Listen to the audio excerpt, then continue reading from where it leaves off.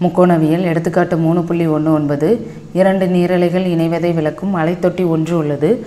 H எட்டு காஸ்டி மற்றும் H ஆறு சைன்டி இங்கு T belongs to closed zero comma two pi open என இரண்டு அலைகள் உள்ளன.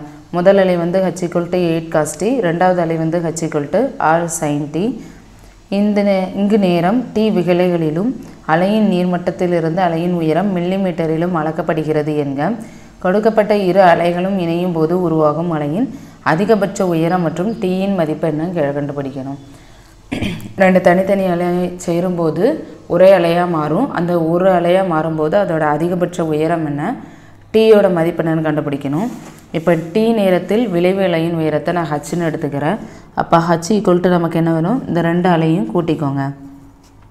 எட்டு காஸ் டி ப்ளஸ் ஆறு sine T T belongs to நமக்கு என்ன கொடுத்துருக்காங்கன்னா ஜீரோ டு டூ பைக்குள்ளே எடுத்துக்கிறோம். இப்போது அடுத்து K equal to H equal to K into cos T minus அல்ஃபான்னு நான் எடுத்துக்கிறேன். காசு எடுத்தால் தான் நமக்கு செய்கிறதுக்கு கொஞ்சம் ஈஸியாக இருக்கும். அப்போ ரெண்டுமே ஹச்சுங்கனால ரெண்டுமே ஈக்குவல் போட்டுக்கலாம். Eight cos T equal to plus six sine T equal to K into cos T minus alpha இப்போ eight cos T plus six sine T equal to K into cos X minus Y ஃபார்முலாவில் apply பண்ணணும். Cos T cos alpha plus sine T sine alpha eight cos T plus six sine T equal to K உள்ள கொண்டு பெருக்கிக்கோங்க. K cos T cos alpha plus K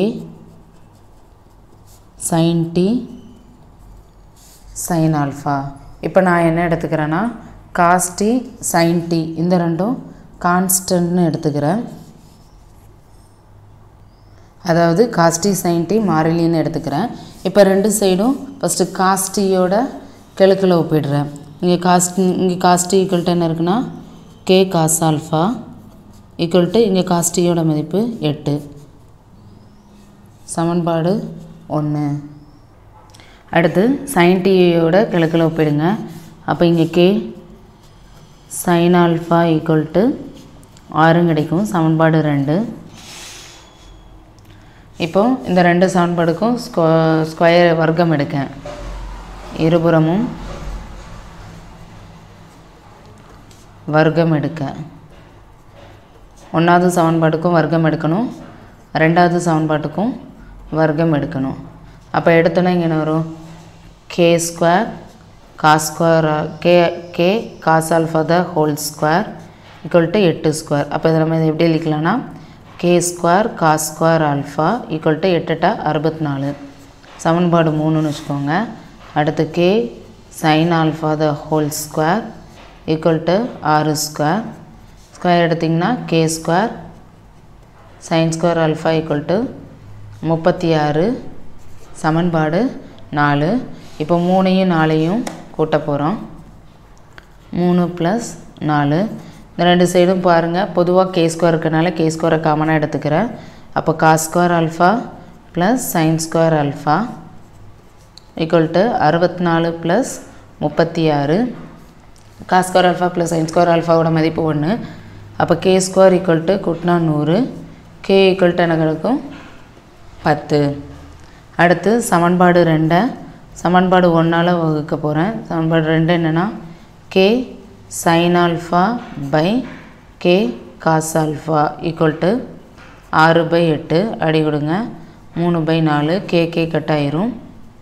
sign alpha ப்ள by cos ஆல்ஃபாக்கு formula tan alpha equal to three by four அப்போ இதுலேருந்து நம்ம alpha என்ன எழுதிக்கலாம்னா tan equal டுக்கு அந்த side போகிறச்ச tan inverse of three by four நம்ம கண்டுபிடிச்ச கே வேல்யூவை கொண்டு சப்ஸ்டியூட் பண்ணலாம். அப்போ ஹச் ஈக்குவல் டு கேக்கு பதில் பத்து காஸ் டி மைனஸ் ஆல்ஃபான்னு கிடைக்கும். தேர்ஃபோர் ஹைச்சின் மீப்பெரு உயரம் என்ன வரும்னா பத்து மில்லிமீட்டர் இப்போ டீயோட மதிப்பு என்ன கேட்டிருக்காங்க? பாருங்கள் ஆல்ஃபா வந்து டேன் இன்வர்ஸ் மூணு பை நாலு. இந்த இடத்துல நம்ம ஆல்ஃபாக்கு பதில் ஆல்ஃபாக்கு பதில் டீக்கு பதில் ஆல்ஃபா போட்டிங்கன்னா நமக்கு என்ன கிடைக்கும்னா காஸ் ஜீரோ காஸ் ஜீரோவோட மதிப்பு ஒன்று காசோட மதிப்பு மைனஸ் ஒன்றுக்கும் ப்ளஸ் ஒன்றுக்கும் இடையில இருக்கும். அப்போ காஸ் ப்ளஸ் ஒன் எந்த டேமில் வந்தால் டீக்கு பதில் ஆல்ஃபா அப்ளை பண்ணும்போது. அப்போ டி ஈக்குவல் டு ஆல்ஃபா என்னும்போது மீப்பெரும் மதிப்பாக அடைகிறது. நமக்கு ஆல்ஃபா என்ன தெரியும்? டேன் இன்வர்ஸ் மூணு பை நாலு.